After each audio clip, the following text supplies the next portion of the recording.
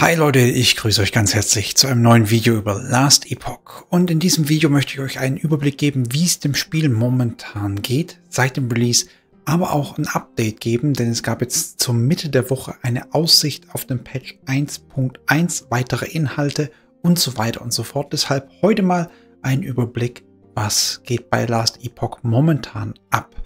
Da schauen wir dann erst einmal auf Steam. Was ist da los? Größtenteils positiv 72 Prozent, fast 60.000 Bewertungen. Ausgeglichen ist es aktuell bei 64 Prozent. Ja, also insgesamt ist es noch größtenteils positiv. Die neuesten oder neueren Bewertungen eher ausgeglichen. Und man kann auch sehr schnell sich herleiten, woher das wahrscheinlich kommt. Es kommt nämlich aufgrund der Serverprobleme natürlich zustande. Last Epoch ist hier eigentlich sehr gut platziert, wie ihr seht, bei Most Played Games momentan auf Platz 7. Also Powerworld ist nicht weit weg, ja, und äh, Helldivers mit Sicherheit auch nicht. Deshalb eigentlich eine saugute Sache für Last Epoch. Und wir gucken einfach mal kurz weiter, was sich hier sonst noch so ergeben hat. Momentan 150.000 Leute in Game, bei mir ist aber gerade halb zwei mittags und trotz dessen 150.000 Leute am Start. All-Time Peak ja, haben wir hier 264.000 Spieler. Also wirklich ein gigantischer Erfolg für dieses Game mit diesem Hintergrund, dieser Entwicklungszeit und einfach wie das ganze Projekt gestartet ist, wie es angefangen hat, wie es anfangs aussah und wie es jetzt ist und wie es sich entwickelt hat. Einfach finde ich phänomenal und freue ich mich natürlich auch sehr, dass so ein Projekt das so weit geschafft hat. Wir gehen deshalb auch mal kurz direkt ins Forum zu Last Epoch und hier gibt es nämlich das Midweek Update, bevor wir dann nachher noch kurz auf Metacritic zu sprechen kommen. Also hier startet der Post zur Wochenmitte mal vom Browser übersetzt mit, wir sind absolut überwältigt von der Beteiligung und der Resonanz auf das Spiel, ja. Am Wochenende gleichzeitig 265.000 Spieler gleichzeitig online die Nummer 39 höchste gleichzeitige Benutzerzahl, die jemals auf Steam verzeichnet wurde. Ja, also sie feiern sehr. Das ist doch schön, dass sie sich freuen. Und wir gehen hier mal kurz drauf ein, dass sie noch betonen, es wird weitere Patches geben. Ich finde es sehr gut, wie sie es gehandelt haben, trotz der Serverprobleme, die Community immer auf dem Laufenden gehalten haben, auch auf Twitter, im Discord, mit Posts, mit Bildern, was sie gerade machen, was sie gerade versuchen und so die Community einfach up-to-date gehalten haben, dass sie dran arbeiten und wirklich hinterher sind, dass die Server ins Laufen kommen. Und es wurde ja dann auch, Gott sei Dank, besser mit der Zeit. Und ich habe dann irgendwann auch wirklich wenig Probleme gehabt. Auch mitten im Stream war es viel, viel besser. Jetzt gucken wir einfach mal kurz. Hier wurde noch was gesagt, halt einfach, dass sie mehr auf die Performance schauen vom Server, dass sie daran weiter arbeiten wollen, dass es weiter stabil ist, die Zonenwechsel halt einfach geschmeidiger sind. Ja, hier seht ihr einfach viele Anmerkungen dazu. Ich werde euch das wahrscheinlich auch unten in der Videobeschreibung verlinken, dass sie weiter an der Lokalisierung arbeiten, dass sie hier Qualitätssicherung, Qualitätskorrekturen für alle Sprachen, Menüs, Zusätze und UI-Fehler und so weiter, ähm, alles was da gemeldet wurde, werden sie angehen. Und jetzt kommt's Interessante, nämlich zukünftiger Inhalt. Wir freuen uns mit euch, die zukünftigen Inhaltspläne für Last Epoch zu teilen, des nächsten großen Cycle Patches 1.1 besteht insbesondere aus zwei Teilen. Der erste wichtigste Teil besteht darin, sich auf das Feedback der Spieler zu konzentrieren und sich Zeit zu nehmen, um darauf zu reagieren.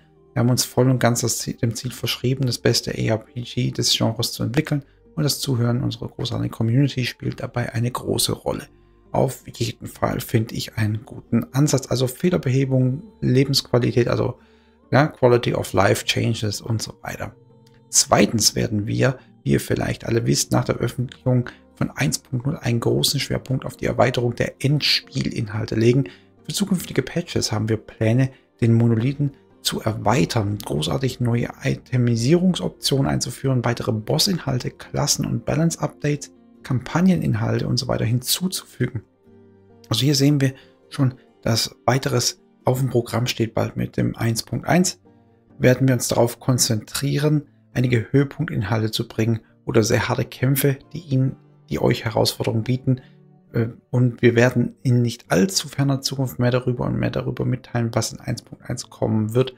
Erwähnenswert, dass 11th Hour Games einen starken Fokus darauf legt, der Community zuzuhören. Also sie betonen einfach nochmal, wie wichtig unser, euer Feedback ist, was das Game angeht und dass sie sich auf jeden Fall in naher Zukunft darum kümmern werden, hier mehr einzubauen, was ihr euch wünscht. Deswegen betonen sie auch nochmal die Foren hier und natürlich auch den Reddit, wo ihr auch ebenfalls euer Feedback geben könnt.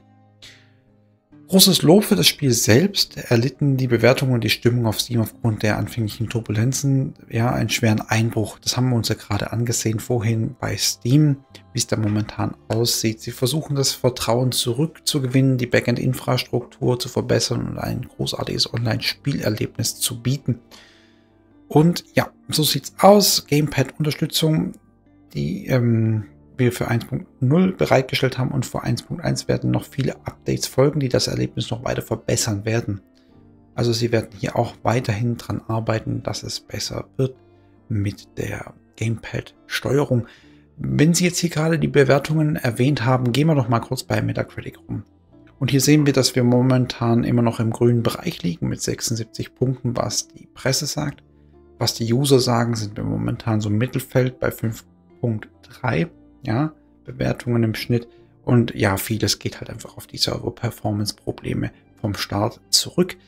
Ähm, ja, aber das muss nichts heißen, wie ihr seht. Wir haben es ja uns gerade angeguckt bei Steam 200, über 260.000 aktive Spieler. Das ist geil. Auf YouTube geht's ab. Viele haben sich darauf vorbereitet, auch Content Creator darauf vorbereitet, hauen Guides raus, dass die Heide kracht. Und jetzt geht's halt einfach weiter, denke ich mal. Und ich könnte gut davon ausgehen, dass das Spiel jetzt einfach positive weitere Schritte nimmt nach diesem holprigen Start. Ähm, passiert ja nicht alle Tage so ein Release. Und dass sich dann auch hier diese Wertung bessern wird und das Spiel auf einen guten Weg geschickt wird. Einfach, dass insgesamt was Schönes rauskommt. Die Presse steht eigentlich ziemlich gut dahinter, wie ihr seht, ist äh, wohlwollend gesinnt und das ist ja ein wichtiger Faktor, wie wir in der letzten Zeit gelernt haben bei bestimmten Games. und dass die Community nicht ganz vergrault ist, hat auch Gutes zu bedeuten. All, allgemein die Spielerzahlen sind fürs Game gerade momentan gut. 1.1 Update, hm, sind wir gespannt drauf, was sie da noch bringen werden. Endgame auszubauen ist, denke ich mal, auf jeden Fall eine gute Idee. Und ja, lasst mich gerne eure Meinung wissen. Habt ihr schon was Neues entdeckt, was ich jetzt noch nicht gesehen habe, ausgraben konnte, was die News angeht? Postet es gerne unten in die Kommentare rein. Danke fürs Einschalten und dann vielleicht bis zu einem nächsten Video oder bei Twitch im Stream. Macht's gut, Leute, und ciao.